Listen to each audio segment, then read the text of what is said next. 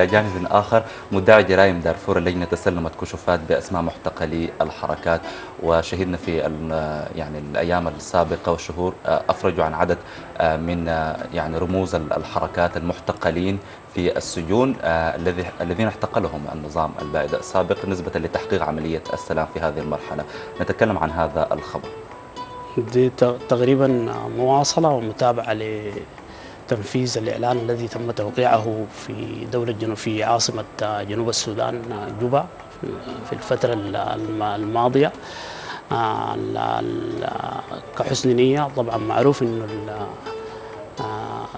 مجلس الحكومة بقيادة رئيس مجلس السيادة الفريق الأول عبد الفتاح البرهان أعلن قرار وقف إطلاق النار شامل في جميع مسارح العمليات و تبع الوقف إطلاق النار بقرارات صدرت بإطلاق سراح عدد من أسرى الحركات المسلحة الذين كانوا موجودون موجودين في السجون.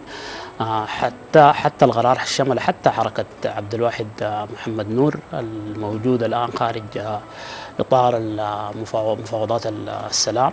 هذا أمر فيه بادرة لحسن نية وهناك لجنة مختصة بهذا الأمر يقودها عضو مجلس السيادة وعضو وفد الحكومة المفاوض الفريق أول شمس الدين كباشي ومدعي دارفور جزء من من هذه اللجنة بالإضافة عدد من المسؤولين من الوفد الحكومي المفاوض والجهات المختصة في الحكومة بهذا الأمر من جهات أمنية وغيرها.